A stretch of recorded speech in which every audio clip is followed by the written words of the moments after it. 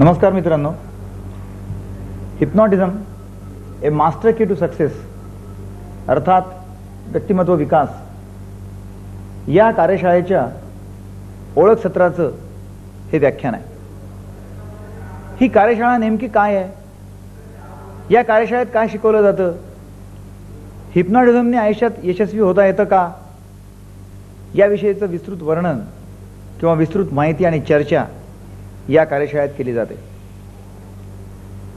हिप्नॉटिझमने म्हणजे स्वसंमोहनाने आपला व्यक्तिमत्व विकास कसा करावा? आपल्या व्यक्तिमत्वातले दोष कसे दूर करावेत? किरकोळ स्वरूपाचा मानसिक आजार कसा टाळावा किंवा कसा चांगला करून घ्यावा? त्याचबरोबर आयुष्यामध्ये यश कसं मिळवावं? हे सर्व या कार्यशाळेत शिकवलं जातं. कार्यशाळेमध्ये हिप्नॉटिझमची काही प्रात्यक्षिकं शिकवली आणि दाखवली जातात. स्मरणशक्तीची तंत्र अभ्यासाची तंत्र यावर सुद्धा मार्गदर्शन केलं जातं. या व्याख्यानामध्ये मी आपणाला स्मरणशक्तीचं तंत्र आणि अभ्यासाचं तंत्र याविषयी सुद्धा आणि एखादं संमोहनाचं प्रात्यक्षिक करून दाखवेल आणि मग या व्याख्यानाचा समारोप होईल. संमोहन म्हणजेच हिप्नॉटिझम अर्थात त्यालाच वशीकरण विद्या त्राटक विद्या ट्रान्स अशी विविध प्रकारची नावं आहेत. संमोहन हे कोणाच्या मर्जीच्या विरुद्ध करता येत नाही. त्याला समोरच्याच्या मनाची तयारी हवी. चॅलेंज देऊन आव्हान देऊन संमोहन करता येत नाही. त्याकरता समोरच्याचं कॉपरेशन मिळणं अत्यंत आवश्यक आहे.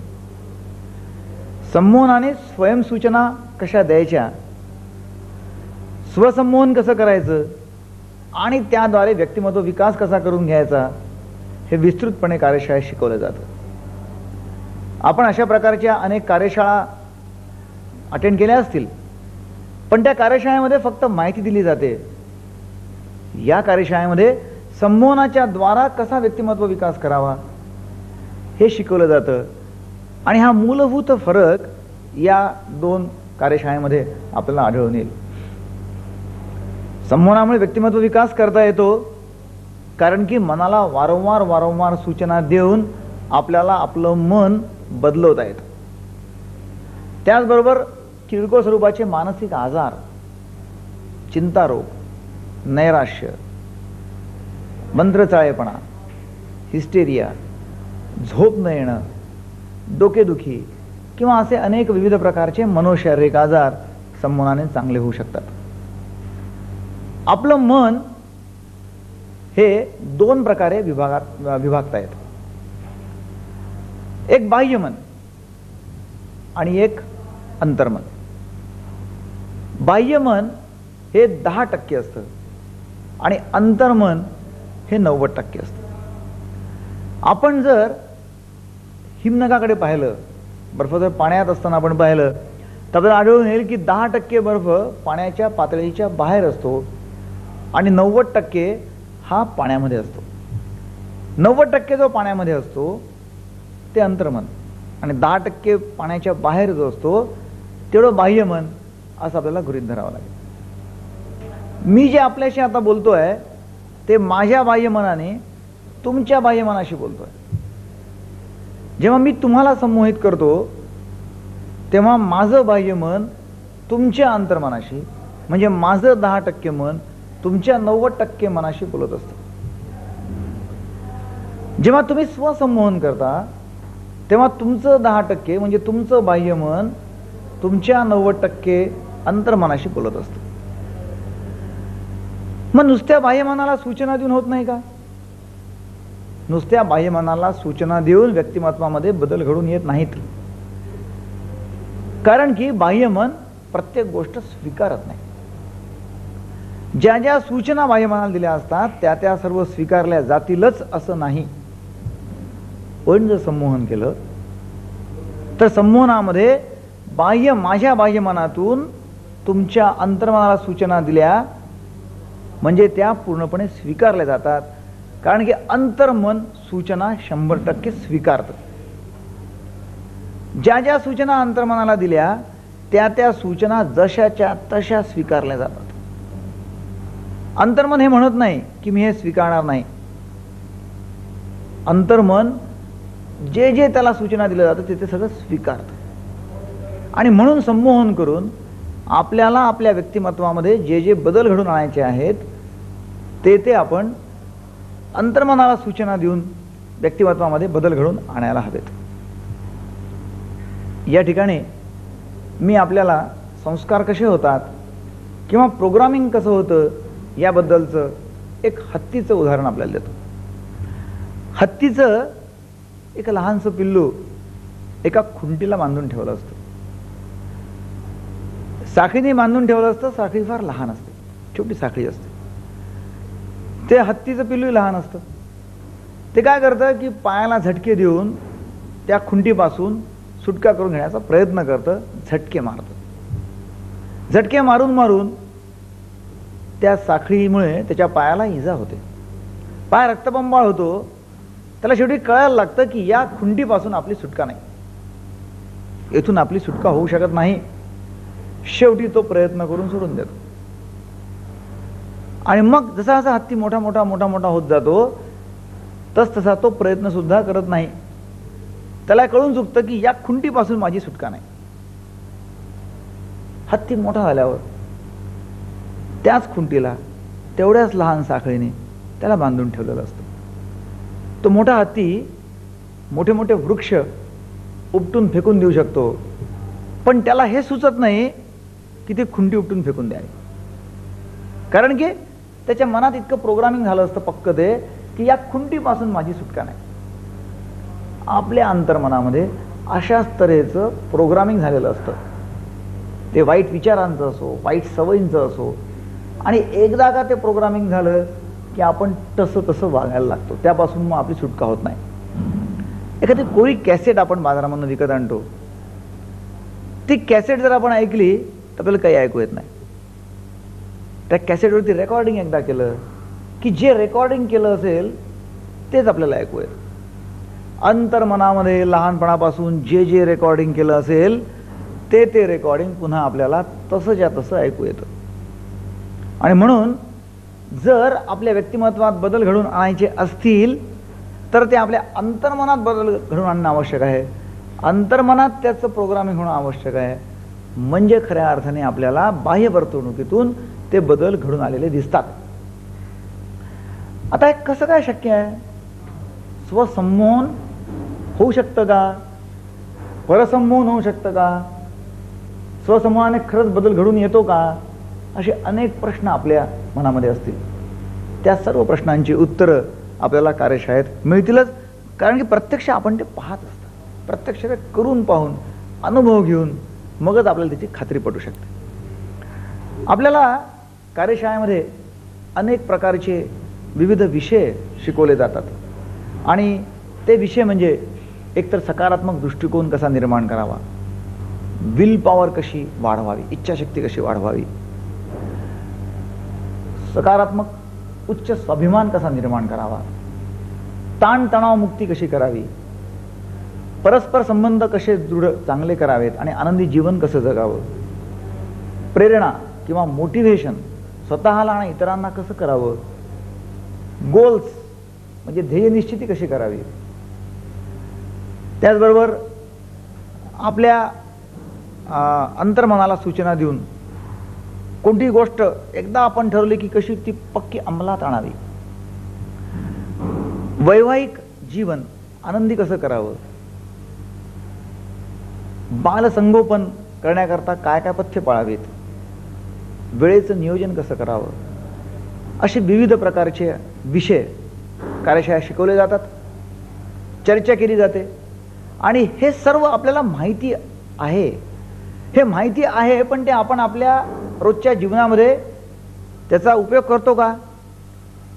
कार्यशाळा अटेंड करताना किंवा माझं भाषण ऐकताना तुम्हाला असं वाटेल हे सगळं मला माहिती आहे. यात तुम्ही नवीन काय शिकवता? सगळंच माहिती आहे आम्हाला. माहिती तुम्हाला जरूर आहे. परंतु आपण ते अंमलात आणत नाही. कारण का आपण आपण ऐकतो ते आणि लगेच विसरून जातो.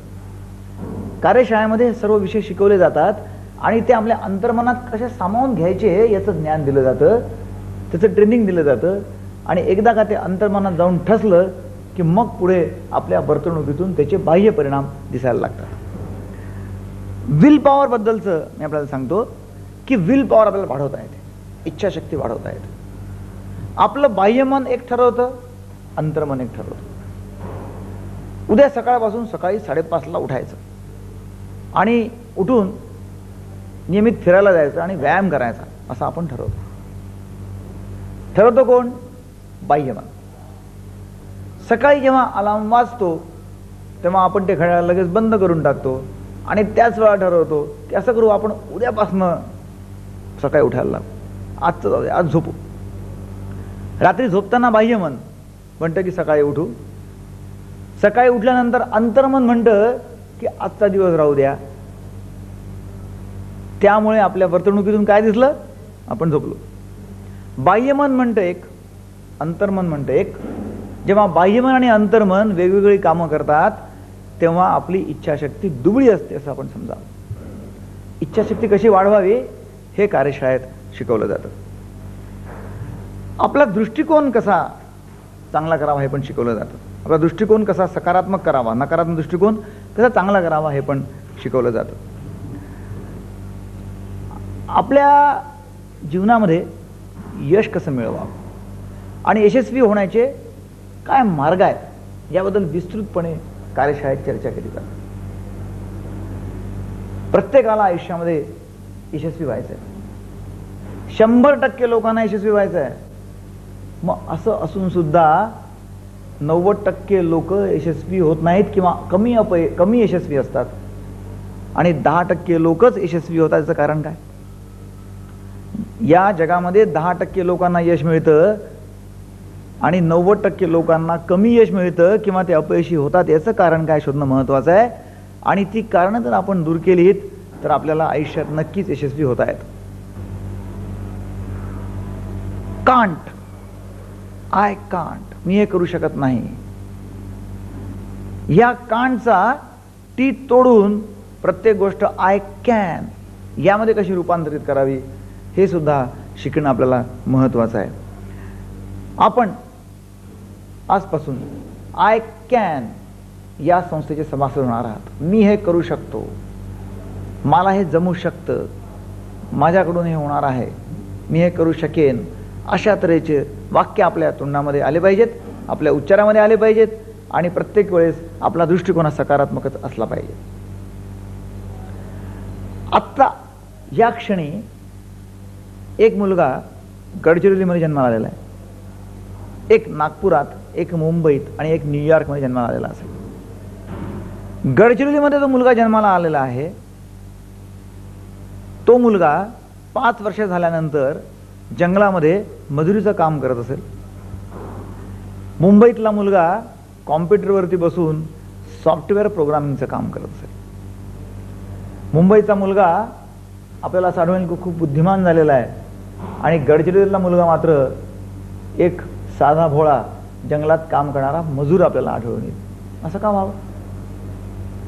याचं कारणच आहे की मेंदू हा जन्माच्या वेळेस सर्वांना सारखाच मिळालेला आहे. सर्वांची बुद्धी सारखीच आहे.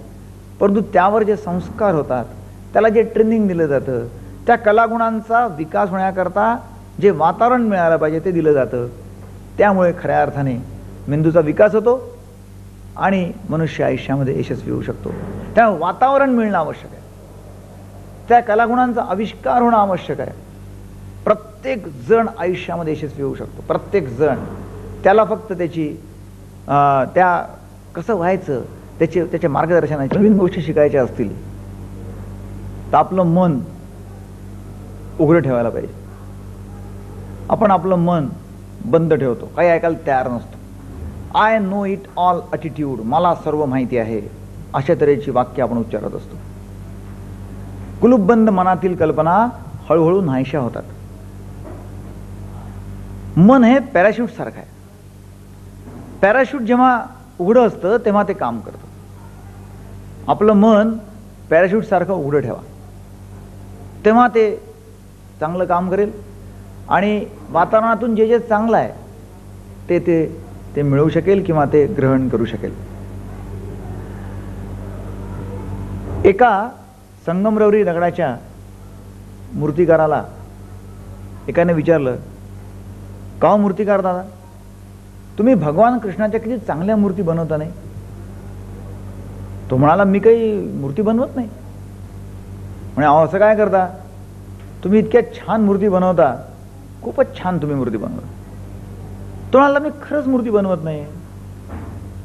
अहो मी तुम्हाला प्रत्यक्ष मूर्ती बनवताना घडवताना पाहिलं आहे तुम्ही खोटं काय बोलता? पण मी मूर्ती बनवत नाही. मी काय करतो? की मी फक्त वरचे चिपड काढून टाकतो. भगवान कृष्णाची मूर्ती तर संगमरवी दगडाच्या आतच बसलेली आहे. जे नको आहे ते काढून टाकतो. ज्याची आवश्यकता नाही ते काढून टाकतो. आणि मूर्तीचा आविष्कार त्या संगमरवी दगडामधनं होतो. या hypnotism master key to success कार्यशाळेमध्ये मला एका मूर्तिकाराचं काम करायचं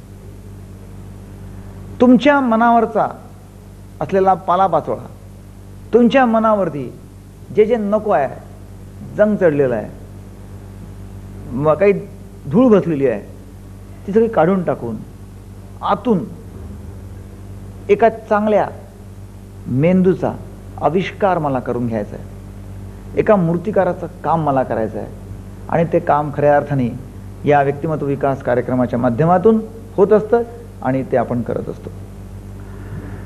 अटिट्यूड हा शब्द महत्त्वाचा मानला जातो. याला सकारात्मक दृष्टिकोन असं म्हणतात.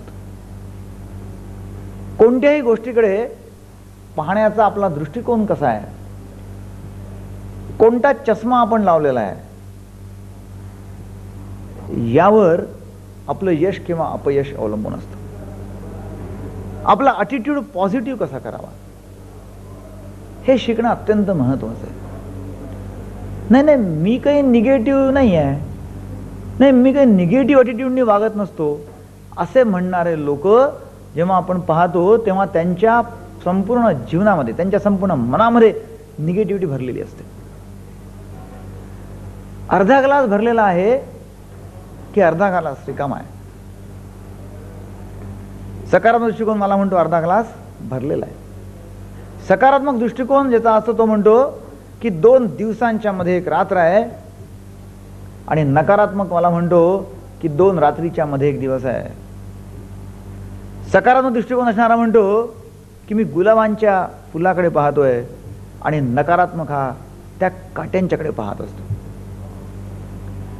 सकारात्मक दृष्टिकोन असणारा आंब्याकडे पाहतो आणि नकारात्मक दृष्टिकोन ज्याचा असतो तो कोळीकडे पाहत असतो. या ठिकाणी मला एक छोटस उदाहरण देणं आपल्याला आवडेल. एक फुगेवाल्याची गोष्ट मी आपल्याला सांगतो. एक फुगेवाला एका चौकामध्ये रंगीबेरंगी फुगे घेऊन त्यामध्ये हेलियम गॅस भरून सायकलच्या दांड्याला ते फुगे फुगवून उभा होता. हेलियम गॅस भरला असल्यामुळे ते फुगे उंच उंच हवेत उडायचेत. दोऱ्याने ते दांड्याला बांधून ठेवलेले होते. रंगीबेरंगी फुगे पाहून दूर दूरची मुलं त्या फुग्यांच्याकडे आकर्षित व्हायची. त्या फुगेवाल्याकडे यायची. आणि म्हणायची फुगेवाला दादा फुगेवाला दादा मला एक फुगा द्या ना. तो पाच रुपये घ्यायचा दोरा तोडायचा त्याला एक फुगा द्यायचा. काही वेळाने तिथून मुलं चालली गेली की तो पुन्हा रंगीबेरंगी फुगे फुगवायचा. दांड्याला लावून ठेवून द्यायचा. उंच उंच फुगे पाहून दूरदूरची मुलं पुन्हा यायची आणि फुगा घेऊन चालली जायची. एक लहानसा काळाशार मुलगा फुगेवाल्याच्या पाठीमागून आला. त्याचा शर्ट त्यांनी पकडला. आणि तो म्हणाला फुगेवाले काका फुगेवाले काका तो पाहायला लागला त्याकडे. तुमच्याजवळचा हा निळा पिवळा लाल केशरी तांबडा असे सर्व रंगाचे फुगे मी उंच उंच हवे जाताना पाहतोय. तुमच्याजवळचा हा काळ्या रंगाचा फुगा उंच जाईल का हो? तो मुलगा काळा होता ना. तुमच्या जवळचा हा काळ्या रंगाचा फुगा वर जाईल का हो? तो फुग्याला हसायला लागला. तो लागला अरे बेटा फुग्याचं उंच जाणं किंवा न जाणं हे त्याच्या रंगावर अवलंबून नाही आहे त्या फुग्यामध्ये काय ठोसला आहे याच्यावरती फुग्याचं उंच जाणं किंवा न जाणं अवलंबून आहे. आपलं आयुष्यामध्ये उंच जाणं किंवा न जाणं हे आपल्या रंगावर जातीवर धर्मावर शिक्षणावर श्रीमंत आहे की गरीब आहे याच्यावर खेड्यामधला आहे की शहरामधला याच्यावरती कशा कशावरती अवलंबून नाही आहे आपलं आयुष्यातलं उंच जाणं फक्त एका गोष्टीवरती अवलंबून आहे. ते म्हणजे आपल्या डोक्यात काय आहे? आणि यालाच सकारात्मक दृष्टिकोन किंवा अटिट्यूड असं म्हणतात. आपला अटिट्यूड हा नेहमी सकारात्मक असला पाहिजे. संपूर्ण जीवन या सकारात्मक अटिट्यूडमुळे बदलू शकतं. संपूर्ण जीवनाला या सकारात्मक दृष्टिकोनातून कलाटणी मिळू शकते. आपण नेहमी हे पाहिलं पाहिजे की आपल्या जवळ काय आहे? आपण काय करतो? इतरांच्या जवळ काय आहे? ते पाहतो. माझ्या पायात बूट नव्हते म्हणून मला अत्यंत दुःख झालं. पण रस्त्यावरून जाताना मी जेव्हा एक माणूस पाहिला ज्याला पायच नव्हते तेव्हा माझं मन एकदम साफ होऊन गेलं. I had blues when I had no shoes I had blues when I had no shoes until upon the street I saw a person who had no feet. आपल्याजवळ जे आहे त्याबद्दल देवाचे आभार माना. आणि नेहमी उंच जाण्याचं ध्येय ठेवा. यावेळी मी असं म्हणत नाहीये की आपला दृष्टिकोन हा सकारात्मक ठेवा पण अल्पसंतुष्टपणा करा असं नाही आहे अल्पसंतुष्टपणा हा माणसाचा मोठा शत्रू आहे. पण जे आहे त्याबद्दल आपण समाधानी असलं आनंदी असलं तरच आपल्याला जीवनात आनंद मिळवता येतो. आणि हा दृष्टिकोन असणं महत्वाचं आहे. हे सुद्धा कार्यशाळेत शिकवलं जातं. आपला स्वाभिमान कसा उच्च करावा कसा स्ट्रॉंग करावा कसा मजबूत करावा हे सुद्धा कार्यशाळेत शिकवलं जातं. Self esteem high self esteem स्वतःला स्वतःबद्दल काय वाटतं? स्वतःची स्वतःबद्दलची असलेली प्रतिमा म्हणजे स्वप्रतिमा. आपण आपल्याला स्वतःला काय समजतो? आपण आपल्याला जेव्हा दुरून पाहतो बाहेरून पाहतो तेव्हा आपण आपल्याला कसे दिसतो? यावर यश अवलंबून असतं. त्याला सेल्फ एस्टीम असं म्हणतात. स्वप्रतिमा self image self concept self esteem अशी त्याला विविध नावं देता येतील. अंतर्मनामध्ये जे आपल्या पक्क बसलेलं आहे चुकीचं दडलेलं आहे ते सकारात्मक दृष्टिकोनाचं असो सेल्फ एस्टीमचं असो ते वारंवार वारंवार सूचना देऊन काढून टाकणं महत्वाचं आहे. दुबळा स्वाभिमान हा यशाचा मोठा शत्रू आहे. एका भिकाऱ्याची गोष्ट मी आपल्याला सांगतो. अमेरिकेमध्ये भीक मागणं हा गुन्हा आहे. न्यूयॉर्क स्टेशनच्या बाहेर एक भिकारी भीक मागत बसला होता. तो काही पेन्सिल्स घेऊन त्या ठिकाणी बसला होता जेणेकरून तो पेन्सिल्स विकतोय अशा तऱ्हेचा तो देखावा निर्माण करत होता. एक सुटाबुटातला मनुष्य हातामध्ये ब्रिफकेस घेऊन धावत धावत रेल्वे स्टेशनच्या प्लॅटफॉर्मकडे चालला होता. हा भिकारी पाहून त्यांनी त्याला एक डॉलरची नोट दिली आणि धावत धावत जाऊन प्लॅटफॉर्मवरती गाडी पकडली. त्याला काय वाटलं कोणाच ठाऊक? गाडी सुरू होण्याच्या अगोदर तो गाडीवरनं खाली उतरला धावत धावत प्लॅटफॉर्मच्या बाहेर पुन्हा आला. त्या भिकाऱ्याच्या जवळ गेला. आणि त्याला म्हणाला माफ कर. मी तुझ्या पेन्सिल्स तर घेतल्याच नाहीत.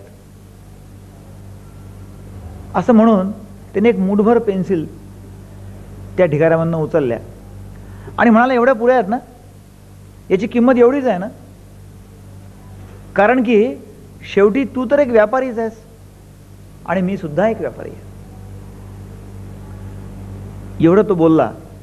धावत पळत जाऊन गाडी गाठली आणि चालला गेला. पाच वर्षांनी या सुटाबुटातल्या माणसाला एका लग्न समारंभामध्ये दुसरा एक सुटापुटातला माणूस भेटला. त्याच्याजवळ तो आला आणि शेखँड केला म्हणजे शेखँड केला त्याने. गुड मॉर्निंग म्हणे कोण मी तुम्हाला ओळखलं नाही? मग तुम्हाला ओळखलं नाही. म्हणजे नाही. हा म्हणाला मी तुम्हाला धन्यवाद द्यायला आलेलो आहे. मी तोच भिकारी आहे जो भिकारी न्यूयॉर्क स्टेशनच्या बाहेर भीक मागत पाच वर्षापूर्वी बसला होता. तुम्ही माझ्याकडनं पेन्सिल्स घेतल्यात आणि मला म्हटलं की इतक्या पुऱ्या आहेत ना याची किंमत एवढीच आहे ना. कारण शेवटी तू तर एक व्यापारीच आहेस आणि मी सुद्धा एक व्यापारी आहे. जेव्हा तुम्ही मला व्यापारी म्हटलं तेव्हा माझा स्वाभिमान जागृत झाला. मी तर शेवटी व्यापारच करतोय. तर मग एक चांगला व्यापार का करू नये? असा विचार माझ्या मनामध्ये आला. मी त्याच ठिकाणी सगळ्या पेन्सिल्सला लाथ मारली आणि उठून एक व्यापार सुरू केला. पाच वर्षामध्ये मी आज खूप मोठी प्रगती केलेली आहे. आणि या लग्न समारंभामध्ये तुमच्यासारखाच एक निमंत्रित म्हणून इथे मी आलेलो आहे. तुम्ही माझा स्वाभिमान जागृत केला. मला एक मोठा उद्योगपती बनवलं. त्याकरता मी धन्यवाद द्यायला तुम्हाला आलेलो आहे. स्वाभिमान जागृत झाला की कसं चांगलं जीवन आपण जगू शकतो आणि आयुष्यामध्ये यशस्वी होऊ शकतो हे आपल्याला कळेल.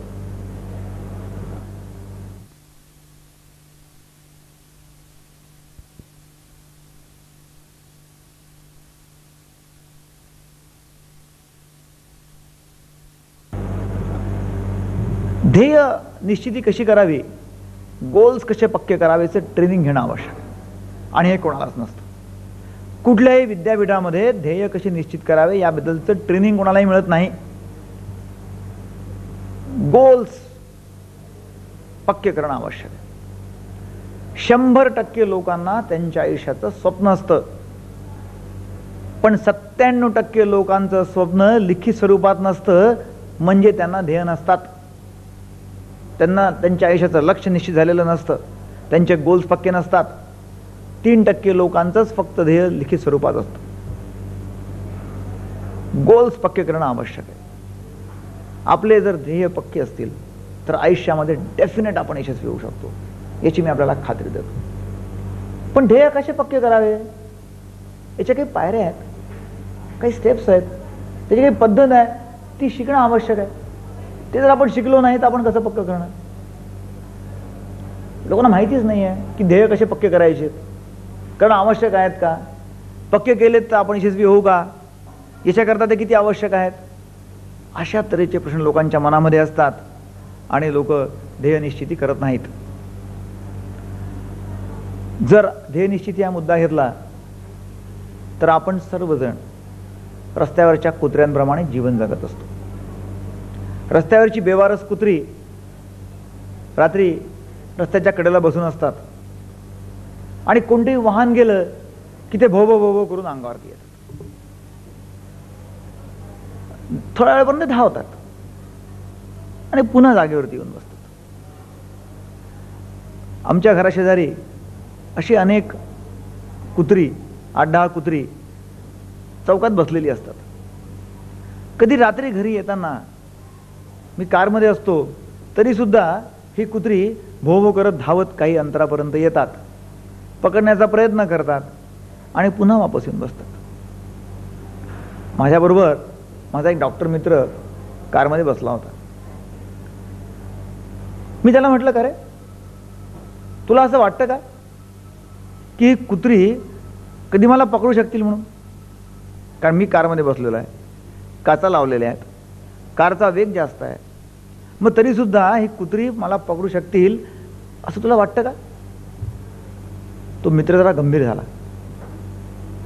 तो म्हणाला की मला त्याची चिंता नाही आहे. की कुत्री तुला पकडू शकतील किंवा नाही. मला ही चिंता आहे की ती कुत्री तुला पकडून तरी काय करतील? हा प्रश्न महत्त्वाचा आहे. पकडून तरी काय करतील? आपण अनेक गोष्टी अशा करत असतो कुत्र्यांसारख्या. की ऍक्शन खूप फास्ट होते आपली. ॲक्शनमध्ये आहोत. खूप काम करतो आहोत असं आपल्याला वाटतं. पण सगळ्या शेवटी फलनिष्पत्ती काय? काहीच नाही. पकडून तरी काय करतो? असं अनेक वेळा आपल्या आयुष्यामध्ये होत असतं. आपण एखाद्या भिंतीवरती शिडी लावून ठेवलेली आहे. त्या शिडीवरून आपण फास्ट चालतोय. आणि त्या शिडीच्या अंतिम टोकावर जाण्याचा प्रयत्न करतोय. फास्ट जाऊन जाण्याचा अंतिम उद्दिष्ट काढण्याचा प्रयत्न करतोय. पण वर जाऊन जेव्हा आपण पोचतो तेव्हा आपल्याला कळतं की अरे आपली शिडी तर चुकीच्या ठिकाणी लावून ठेवलेली होती. ते ठिकाणच चुकीचं होतं. ॲक्शन खूप आहे. ध्येय काहीच नाही आहे माहिती नाही कुठे लावून ठेवली ती शिडी so the ladder was leaning against the wrong wall अशा तऱ्हेचं ते होतं. ध्येय निश्चिती कशी करावी? याबद्दलचं ही तंत्र किंवा पद्धत कार्यशाळेमध्ये शिकवली जाते. ताणतणावाचं नियोजन कसं करावं? आणि ते आपल्या अंतर्मनातून कसं करावं? हे कार्यशाळेत शिकवलं जातं. एकविसाव्या शतकामध्ये कॉम्प्युटर ही आपल्याला देणगी मिळालेली आहे. तर ताण हा शाप आहे. प्रत्येक जण तणावाखाली वावरतोय. तणावामुळे चिंता निर्माण होते. चिंतेमुळे आणखीन ताण निर्माण होतो. ताणामुळे राग निर्माण होतो. राग आला की आणखीन ताण येतो. अशा दुष्ट चक्रामध्ये आपण असतो. ताण घेऊच नको.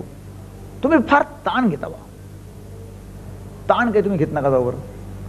तुम्ही फार विचार करता. विचार ना करत जाऊ बरं. आजपासून विचार करणं सोडून द्या. अशा तऱ्हेची वाक्य किंवा अशा तऱ्हेचे सल्ले आपण लोकांना देत असतो. पण असं असा सल्ला देऊन कधी लोकांचं भलं झालं आहे का? लोकांनी विचार करणं सोडून दिलेलं आहे का? असं होत नाही. ताण तर येणारच. चिंता होणारच. पण ती ताण किंवा चिंता जर आली असेल तर आपलं मन एवढं पक्क करायला पाहिजे की त्या ताणाचा किंवा चिंतेचा आपल्या शरीरावरती फरकच होणार नाही दुष्परिणामच जाणवणार नाही.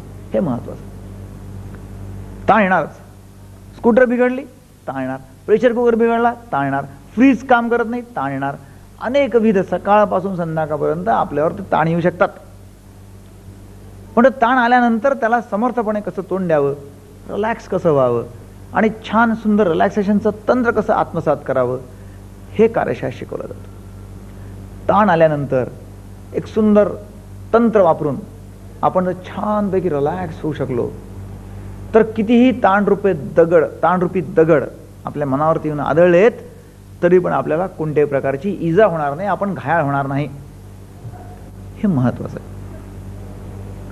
मानसिक ताण दूर करण्याकरता दररोज रिलॅक्सेशन करा. आणि महत्वाचं म्हणजे आपल्या दृष्टिकोनात बदल आणा. आपल्या दृष्टिकोनात बदल घडवून आणणं अत्यंत महत्वाचं आहे. आपल्याला उपलब्ध असलेल्या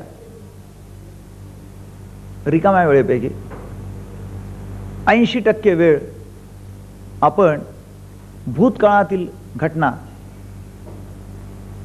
कोणत्या झाल्या त्याचा विचार करण्यात घालत असतो. उपलब्ध असलेल्या वीस टक्के उपलब्ध असलेल्या पूर्ण वेळेपैकी वीस टक्के वेळ हा भविष्य काळाची चिंता करण्यात घालत असतो. असं झालं तर काय होईल? तसं झालं तर काय होईल? अमकं झालं तर काय होईल? तमकं झालं तर काय होईल? आणि भूतकाळ? भूतकाळामध्ये हे घडलं असतं तर बरं झालं असतं. अमकं झालं असतं तर बरं झालं असतं. ह्यामुळे असं होऊ शकलं असतं. अशा तऱ्हेचे भूतकाळातील विचार आपण करत असतो. ऐंशी टक्के वेळ भूतकाळामध्ये वीस टक्के वेळ भविष्य काळामध्ये आणि वर्तमान काळात वेळ कुठे उरला? काहीच नाही. वर्तमान काळात आपण राहतच नाही जीवन जगतच नाही. वर्तमान काळात जीवन कसं जगावं हे कार्यशाळेत शिकवलं जातं. या ठिकाणी मी आपल्याला एक उदाहरण किंवा एक एक्सपेरिमेंट करून दाखवतो. म्हणजे आपल्याला कळेल की मी एक्झॅक्टली काय म्हणतोय ते. भूतकाळ आहे. हा पकडा हातामध्ये पक्का. यांच्या हातामध्ये यांनी भूतकाळ पकडून ठेवलेला आहे. लांब पकडा जाणार पक्का पकडून ठेवा भूतकाळ. हा भविष्यकाळ आहे. हा भविष्यकाळ पकडून ठेवलेला आहे.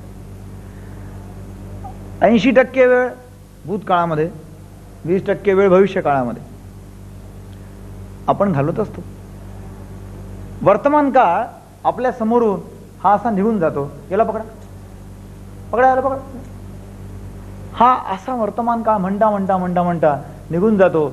आणि आपल्याला कळत पण नाही वेळ कसा निघून गेला. आपण म्हणतो की मला कळलंच नाही वेळ कसा निघून गेला ते. भूतकाळामध्ये विचार जेव्हा करतो तेव्हा निराशा येते. भविष्य काळात जेव्हा विचार करतो तेव्हा अँझायटी येते. म्हणून वर्तमान काळात जगा हा संदेश मी आपल्याला या ठिकाणी देतोय. वर्तमान काळात जगा हे म्हणणं सोपं आहे. पण जगणं कठीण आहे. कारण की त्याकरता खरोखर वर्तमान काळात जगण्याची सवय लावून घ्यायला पाहिजे किंवा तसा दृष्टिकोन आपण ठेवायला पाहिजे. असं म्हटलं जातं की past is an outdated cheque future is a promissory note the current moment is cash in hand utilise it past is a history future is a mystery. The current moment is a gift given to us by nature. That is why it is called as present. Utilize it. वर्तमान काळात जगा भूतकाळ विसरा भविष्यकाळाची चिंता करू नका आणि आज आज जगा म्हणून एका मानसशास्त्रज्ञाने असं म्हटलेलं आहे की आजचा माझा या जीवनातील पहिला आणि शेवटला दिवस आहे. परंतु योजना मात्र अशी बनवा की मला शंभर वर्ष जगायचं आहे. वर्कशॉपमध्ये आणखीन एक महत्त्वाची गोष्ट शिकवली जाते किंवा आपल्याला असलेल्या एका आजारातून मुक्ती मिळवून देता येऊ शकते किंवा घेता येऊ शकते.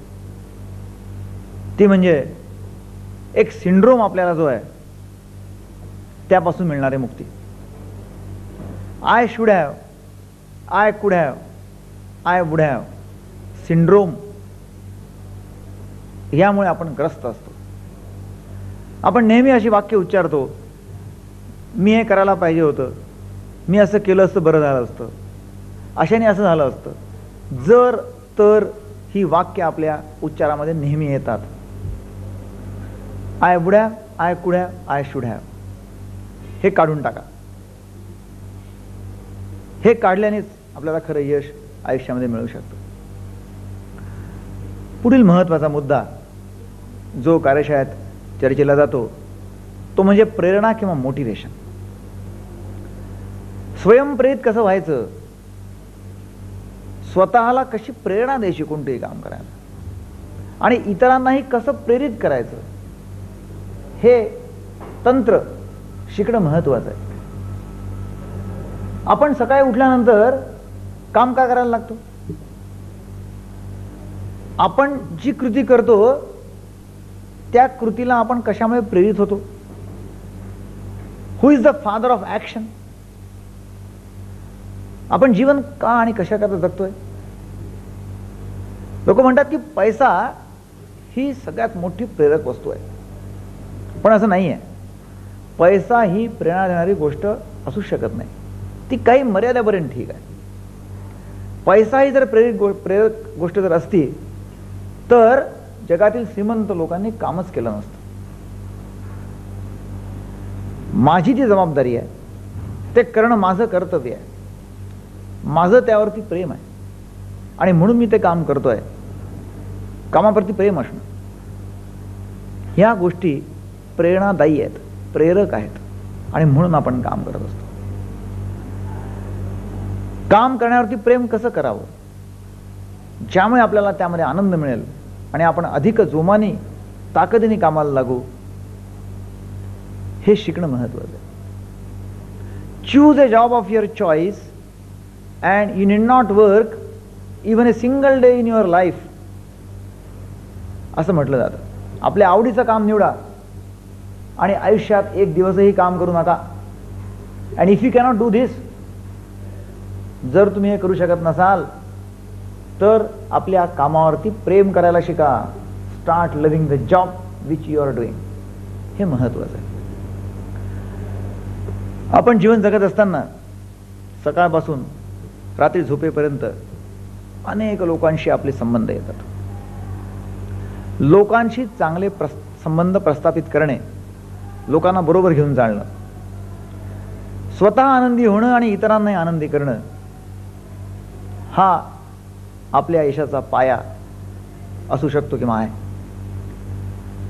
जर मी इतरांबरोबर राहतो आणि आनंदी होणं हा माझ्या जगण्याचा उद्देश आहे तर इतरांनाही आनंदी करणं हे माझं कर्तव्य आहे आणि ते मी पार पाडलंच पाहिजे. जेव्हा मी इतरांना बरोबर घेऊन इतरांच्या बरोबर काम करत असतो तेव्हा ते काम अनेक पटींनी मोठं होतं आणि आपल्याला आयुष्यामध्ये यश मिळतं. मित्र कसे बनवावेत? लोकांशी कसा व्यवहार करावा? श्रवण कौशल्य कसं वाढवावं? प्रशंसा कशी करावी? टीका करावी की करू नये? धन्यवाद द्यायला कसं शिकावं? धन्यवाद घ्यावेत कसे? अशा प्रकारचे अनेक पैलू परस्पर संबंधाचे आहेत. आणि ते शिकणं महत्वाचं आहे. आपण नेहमी धन्यवाद द्यायला शिकलो पाहिजे. पण मनुष्य हा सामाजिक प्राणी जरी असला तरी तो अत्यंत कृतज्ञ प्राणी. कोणी धन्यवाद देत नाही. तुम्ही कोणावर उपकार करा लोक धन्यवाद देत नाहीत. एकदा येशू ख्रिस्ताला काही महारोगी भेटलेत. त्या महारोग्यांच्या अंगावरून त्यांनी हात फिरवला. ते चांगले झालेत. त्यांना नवजीवन मिळालं. त्या दहा महारोग्यांना त्यांच्या कुटुंबियांनी घरातून हाकलून दिलेलं होतं. ते जसे चांगले झाले तसे ते धावत पळत पुन्हा आपल्या घरी गेलेत. घरी गेल्यानंतर त्यांनी जल्लोष केला. आनंदोत्सव साजरा केला. दोन तासांनी दहा महारोग्यांपैकी एकाला आठवण झाली. म्हणून तो पुन्हा येशू ख्रिस्ताला शोधत गावाच्या बाहेर गेला. जोराने त्यांनी हाका मारली. त्यांना थांबवलं आणि सांगितलं मी तुम्हाला धन्यवाद द्यायला आलो आहे. थँक्यू येशू ख्रिस्त म्हणाले त्यात काय झालं? मी तर काहीच केलं नाही. दहा पैकी एकच जण धन्यवाद द्यायला आला आणि तो सुद्धा दोन तासांनी आला. लोक धन्यवाद देत नाहीत. म्हणून कोणावरती उपकार करा पण धन्यवादाची अपेक्षा करू नका. धन्यवाद द्यायला मात्र विसरू नका. व्यवसायामध्ये यश कसं मिळवावं? हे सुद्धा कार्यशाळेत शिकवलं जातं. स्वॉट ॲनालिसिस करणं महत्वाचं आहे. एस डब्ल्यू ओ टी स्वॉट ॲनालिसिस स्वॉट म्हणजे एस म्हणजे स्ट्रेंथ डब्ल्यू म्हणजे आपल्या वीकनेसेस ओ म्हणजे ऑपॉर्च्युनिटीज आणि टी म्हणजे थ्रेट्स स्वतःबद्दलचं ॲनालिसिस करून आपल्या यशात ते कसं महत्वाचं आहे शिकवलं जातं. अपयशाला कसं पचवावं आणि यशाकडे कशी झेप घ्यावी हे आपल्याला अब्राहम लिंकन यांच्या उदाहरणावरून कळून येईल. अब्राहम लिंकन हा गृहस्थ वयाच्या एकविसाव्या वर्षापासून वयाच्या एक्कावन्न वर्षापर्यंत सतत अपयश अपयश अपयश अपयशच घेत गेला. पण वयाच्या एक्कावन्न वर्षी मात्र अमेरिकेचा अध्यक्ष बनला. मला जगातला एकही गृहस्थ असा दाखवा की ज्याला आयुष्यामध्ये अपयश मिळालंच नाही असं नाहीच असं म्हटलं जातं की जर तुम्हाला यश मिळवायचं असेल तर तुमचं अपयश दुपटीने वाढवा. Double your failure rates. यश मिळण्याकरता आधी खूप द्यावं लागतं आणि मग यश मिळतं. Give more than what you take जर यश मिळण्याचे अनेक विध वेगवेगळे प्रकार आणि त्याचे मार्ग जर आपण अवलंबले तर आयुष्यामध्ये यशी झाल्याशिवाय आपण राहत नाही. परंतु लोक ते मार्ग अवलंबण्याकरता तयारच नसतात. लोकांना इन्स्टंट यश पाहिजे असतं. आजकाल इन्स्टंटचा जमाना आहे. Instant noodles instant coffee instant tea instant ice cream सर्व लोकांना इन्स्टंट इन्स्टंट लॉटरी सगळं इन्स्टंट पाहिजे असतं. यश मिळण्याकरता थांबावं लागतं. कन्सिस्टन्सी अँड परसिस्टन्स चिकाटी जिद्द ऑनेस्टी सिन्सिअरिटी बर्निंग डिझायर असे अनेक विध गुण यशाकरता आवश्यक आहेत. ते आपल्या अंतर्मनात कसे रुजवावेत हे स्वयंसूचनेच्या माध्यमातून शिकवलं जातं. आपण व्यवसायामध्ये कितीही मोठं यश मिळवलं कितीही पैसा कमवला तरी पण जर घरामध्ये सुखी नसू तर त्या यशाला काही अर्थ नाही. वैवाहिक जीवन आनंदी कसं करावं? लहान मुलांचं संगोपन कसं करावं? या सुद्धा याकरता सुद्धा शिबिरामध्ये मार्गदर्शन केलं जातं. वेळेचं व्यवस्थापन करणं ही एक कला आहे. सुदैवाने किंवा दुर्दैवाने प्रत्येकाला चोवीस तासच वेळ उपलब्ध आहे. गरिबांकरता ही चोवीस तास आणि श्रीमंतांकरता ही चोवीस तास. कोणालाही वेळ विकत घेता येत नाही. मग आहे त्या वेळेचा उपयोग करून जास्तीत जास्त कसं काम करावं हे वेळेच्या व्यवस्थापनामध्ये शिकणं महत्वाचं आहे. आपल्या जीवनातील महत्वाचं कोणतं आहे? महत्वाची कोणती कामं आहेत? ती कामं शोधून काढून आपले जीवन मूल्य काय नैतिक मूल्य काय आहेत हे ठरवून जर आपण वागायला लागलो तर आपल्याजवळ वेळ उरेल. पण लोकांची अशी नेहमी ओरड असते की आम्हाला वेळच पुरत नाही. वेळ मिळत नाही. आय एम बिझी असं प्रत्येकजण म्हणत असतो. चपराशापासून पंतप्रधानांपर्यंत सर्वजण बिझी आहेत. वेळ कोणालाच नाही. असं म्हटलं जातं की जर तुम्हाला कोणाकडनं काम करून घ्यायचं असेल तर ते सगळ्यात बिझी माणसाला सांगा. जो सगळ्यात व्यस्त आहे त्याला सांगा. कारण रिकामा माणूस कोणतेही काम करू शकत नाही किंवा करत नाही म्हणूनच रिकामा आहे. म्हणून रिकाम्याला काम सांगू नका. कारण ज्याला वेळेचं व्यवस्थापन जमलं तो बिझी आहे आणि बिझी माणूसच आपलं काम करू शकतो. वेळेचं व्यवस्थापन करणं ही एक सुंदर कला आहे आणि ती कला आत्मसात करणं महत्वाचं आहे. आपल्या कनिष्ठ कर्मचाऱ्यांकडनं कसं काम करून घ्यावं? त्यांना कशी प्रशंसा कौतुक करावं? त्यांना कशी प्रशंसा द्यावी? त्यांचं कसं कौतुक करावं? त्यांना काय रिवॉर्ड्स द्यावेत? याबद्दलचं हे ट्रेनिंग माहिती असणं किंवा घेणं जरुरी आहे आणि ते सुद्धा कार्यशाळेत शिकवलं जातं. अभ्यास कसा करावा? याचं एक तंत्र आहे. त्याचप्रमाणे लक्षात कसं ठेवावं? मेमरी टेक्निक्स हे सुद्धा महत्वाचं आहे. आणि ते कार्यशाळा शिकवलं जातं की how to remember there is no good memory or there is no bad memory. There is a trained memory and untrained memory.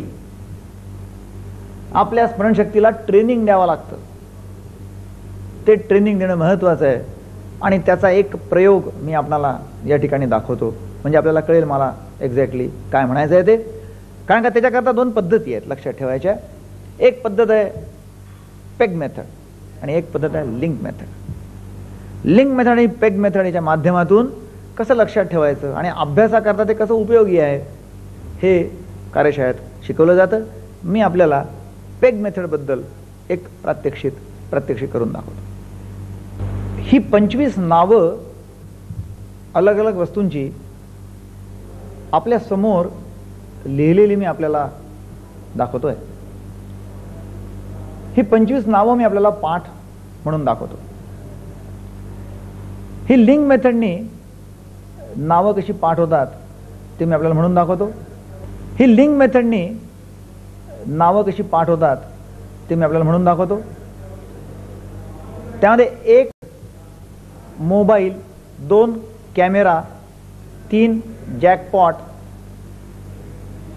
चार मारुती पाच पंखा सहा कंपनी सात पडदा आठ पाणी नऊ गवत दहा अंगठी अकरा मुंबई बारा पेन तेरा बॅग चौदा घड्याळ पंधरा हॉटेल सोळा टेलिफोन सतरा टेबल अठरा वास्तुशास्त्र एकोणीस लाइट वीस खिळा एकवीस टी व्ही बावीस खुर्ची तेवीस काच चोवीस कंपास पंचवीस ग्लास. हे झालं सरळ. आता मी तुम्हाला उलटं म्हणून दाखवतो. पंचवीस ग्लास चोवीस कंपास तेवीस काच बावीस खुर्ची एकवीस टी व्ही वीस खिळा एकोणीस बॅग अठरा वास्तुशास्त्र सतरा टेबल सोळा टेलिफोन पंधरा हॉटेल चौदा घड्याळ तेरा बॅग बारा पेन अकरा मुंबई दहा अंगठी नऊ गवत आठ पाणी सात पडदा सहा कंपनी पाच पंखा चार मारुती तीन जॅकपॉट दोन कॅमेरा आणि एक मोबाईल. आता यामध्ये दहा नंबरवरती अंगठी तर पंधरा नंबरवरती हॉटेल. वीस नंबरवरती खिळा तर पंचवीस क्लास. एक मोबाईल चार मारुती आठ पाणी सहा कंपनी बारा पेन. असं कुठलाही तुम्ही मला आकडा विचारा. मी त्याचं त्यासमोर कोणता शब्द आहे किंवा कोणती वस्तू आहे ते सांगू शकतो. याला पेग मेथड असं म्हणतात. आणि अभ्यासामध्ये फार उपयोगी तंत्र म्हणून हे वापरलं जाऊ शकतं.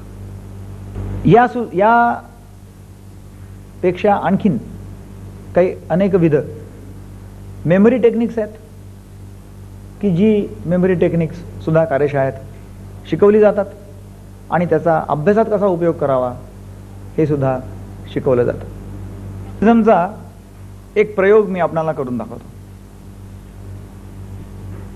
डोळ्यात डोळे टाकून किंवा बोटाकडे पाहून कसं संमोहित केलं जातं आणि सूचना देऊन ॲनिस्थेशिया कसा तयार होतो ते मी आपल्याला आता प्रयोगावरून दाखवतो.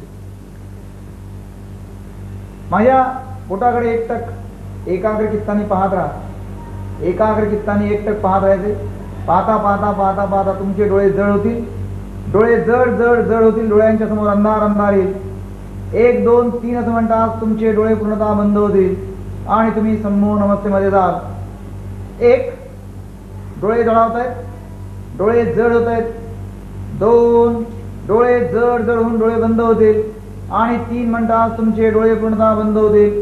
आणि तीन तुमचे डोळे पूर्णतः बंद झालेले आहेत. डोळे बंद करायचे and now sleep. Sleep. Sleep. Sleep. तुमच्या डोळ्यांसमोर अंधार अंधार अंधार होतोय. डोळे पूर्णतः बंद होत आहेत तुम्ही डोळे पूर्णतः बंद करून आलेले आहात. डोळे जड जड होत आहेत डोळ्यांसमोर अंधार अंधार होतोय. आणि तुमचे डोळे पूर्णतः बंद होतील. स्लीप स्लीप स्लीप डीप तुमचे डोळे घट्ट घट्ट घट्ट बंद होते डोळ्यांसमोर अंधार अंधार अंधार होतोय. तुमच्या उजव्या हातावरती मी आता बर्फ आणून ठेवतोय. माझ्या सूचनांचं पालन करायचंय. सूचना ऐकायचे. उजव्या हातावरती बर्फ आणून ठेवतोय. उजवा हात थंडगार बर्फाच्या पाण्यात टाकतोय. उजवा हात बर्फाच्या थंडगार पाण्यात टाकतोय. उजवा हात थंड थंड थंड झालेला आहे उजव्या हातावरती आता बर्फ आणून ठेवलाय. उजवा हात थंडगार पाण्यातून बाहेर काढलाय. आणि उजव्या हातावरती मी थंडगार बर्फ आणून ठेवतोय. उजवा हात थंड थंड थंड थंड झालेला आहे त्याला कुठल्याही प्रकारच्या वेदना उजव्या हाताला होणार नाही. काहीही टोचलं तरी जाणवणार नाही. उजव्या हाताला कुठल्याही प्रकारच्या वेदना होणार नाही. उजवा हात अतिशय थंड झालेला आहे. त्याला काहीही टोचलं तरी जाणवणार नाही. कुठल्याही प्रकारच्या वेदना उजव्या हाताला होणार नाही. उजवा हात अतिशय थंड थंड झालेला आहे.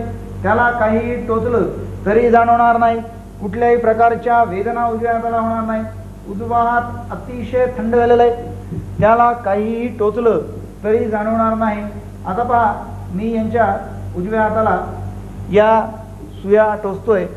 आणि त्यांचा उजव्या हाताला ॲनिस्थेशिया झाल्यामुळे कुठल्याही प्रकारच्या वेदना उजव्या हाताला होत नाही आहेत आता या पहा मी सहा सुया टोचलेल्या आहेत. आणि या सुया आरपार जाऊन हाताला सात छिद्र झालेली आहेत.